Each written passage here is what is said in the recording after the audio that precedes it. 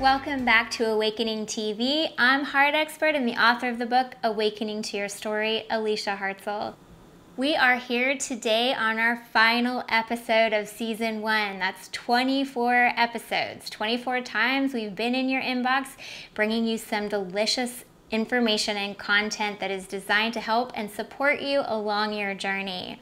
Now, for our second season, which is right around the corner, we have some really neat things that we're working on. We've got a whole new platform that we are designing just for you for season two. Now, in designing that platform, we've taken some of the information that we've gotten from you over the last 24 weeks, and we are making something that is pinpointed and directed to your needs, to what it is you've been asking for.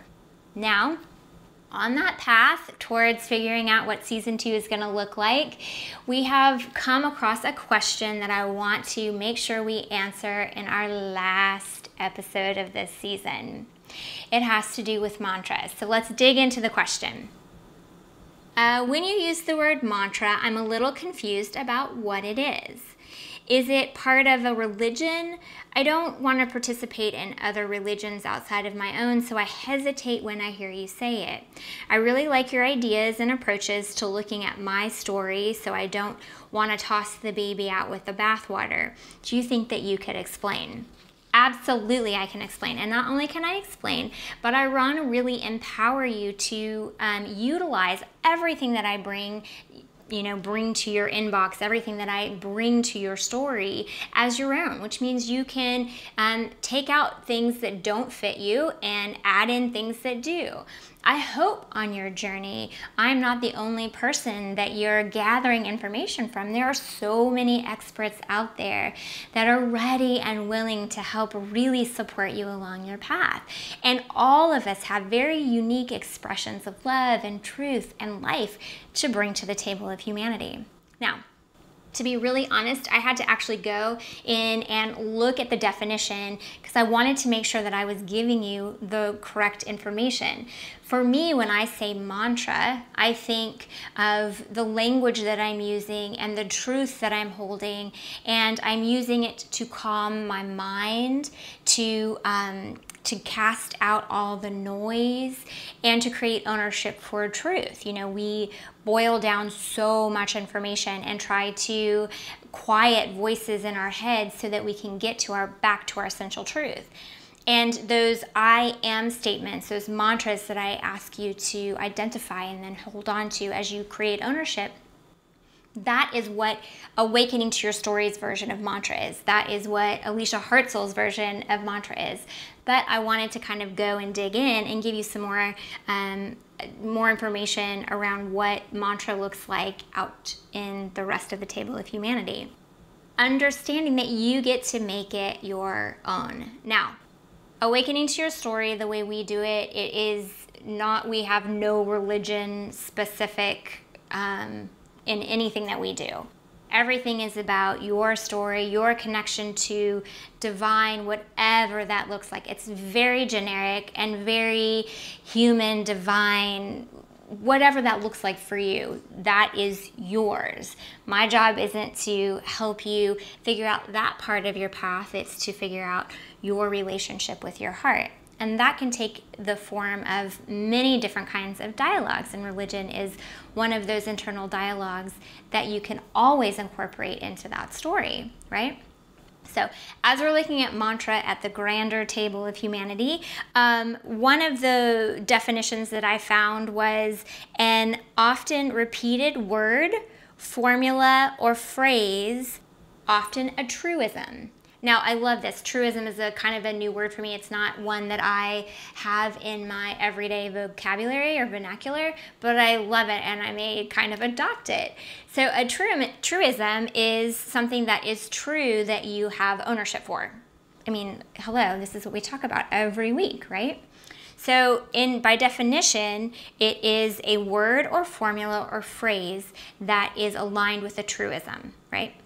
Now, in Sanskrit, which came up a lot when I was searching, it is a thought behind a speech or an action, right? So anything that has um, speech or action and thought, that is your mantra, right?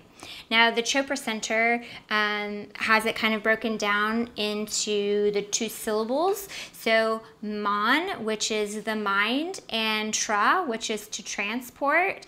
And it is an instrument of the mind and intention, right? So when he uses mantra, it is about an instrument of the mind and intention. Now, again, awakening to your story, and the way that we use it, it is a place for the mind to become still around a truth while you're creating ownership for that truth, right? Now, I always like to give you three actionables, and I wouldn't want to leave you high and dry on our last episode. So, we are going to have three actionables about using mantra. So, uh, hard actionable, and number one, figure out what mantra means for you. That's right.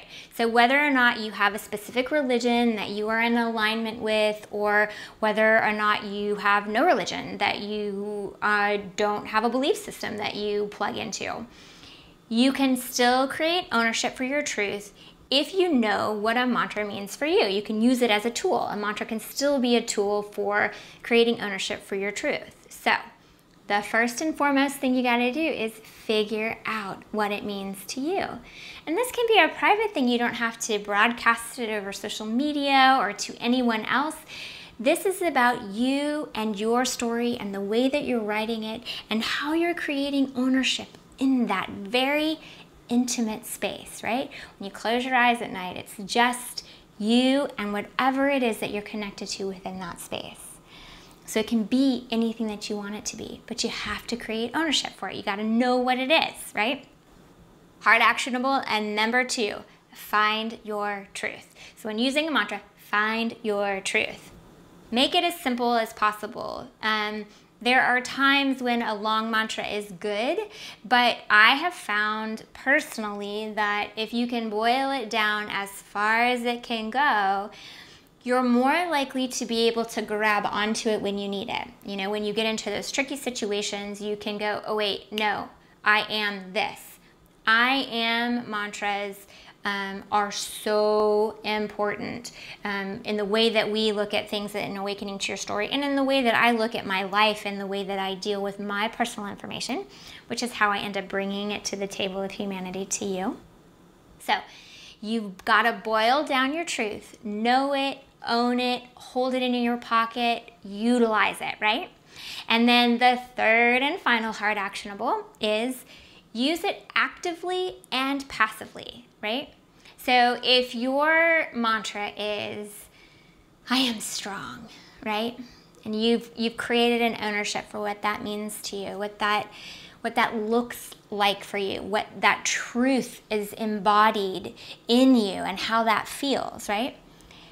You can actively use, use it and you can passively use it. So when you're actively using it, when you're on um, precipice and you are faced with a limiting belief of, oh, I'm not enough and I'm weak, you can actively choose. No, I am strong. That is my truth. I am strong, right? That is active, right? You can get into a quiet space, whether you're looking into a body of water or out into a hill, or you have five seconds in your car by yourself. You can listen to music, whatever it is to get yourself into a place of stillness. Hold that mantra in your mind's eye. You can even whisper it off of your lips I am strong. I am strong. I am strong. You can change your inflection, right? Own it, own it, own it. Those are all active ways of owning it. Now, passive ways of owning it are, are so easy and so amazing. On your phone, just set up a, uh, a reminder or a, a thing that repeats on your calendar that says at 11 o'clock, it says, I am strong. And it dings, and you can even use emojis, and it's, I am strong. And all of a sudden at 12 o'clock, you're like, what is that? And it's like, oh, yeah, that's a passive reminder of my truth, right? Write it on your mirror. um, I am strong. Keep it on your visor in your car or um, get a piece of jewelry that says it, right? All those are passive ways of owning your mantra. There are so many beautiful products out there now, whether it's jewelry or clothing. I mean, there's there's yoga clothes out there that actually have mantras on them. It's it's phenomenal. You can always tap back into your truth, whether it be passive or active. So let's go over our three hard actionables one more time. Uh, the first one is figure out what it means to you. Second, find your truth. And third, own that truth passively and actively. So, this is what you do when you're using a mantra. All three of these things will deepen your understanding, help get you quiet, and help you create ownership for all that you are. Now, um, I am very sad that this is the last episode, but I am also very excited for the next 25 episodes to come. I cannot wait to bring them to you. I am thrilled to be able to present something to you that you guys have asked for. And I want you to know that as we go into this next season, no matter what it is that you're doing in your life, no matter where it is that you find yourself, know that you are valuable Know that life is working for you, never against you. That you have everything that you need along the way. Now, if you need more support from me or inspiration or teachings, you can always go to Awakening to Your Story. There are always one on one sessions available for you and tons of content just waiting for you to jump into. I cannot wait to see you in the next 25 episodes. But until then, know that you are held in a place of the most intense and wonderful unconditional love. For more support, information, and inspiration, join me at awakeningtoyourstory.com.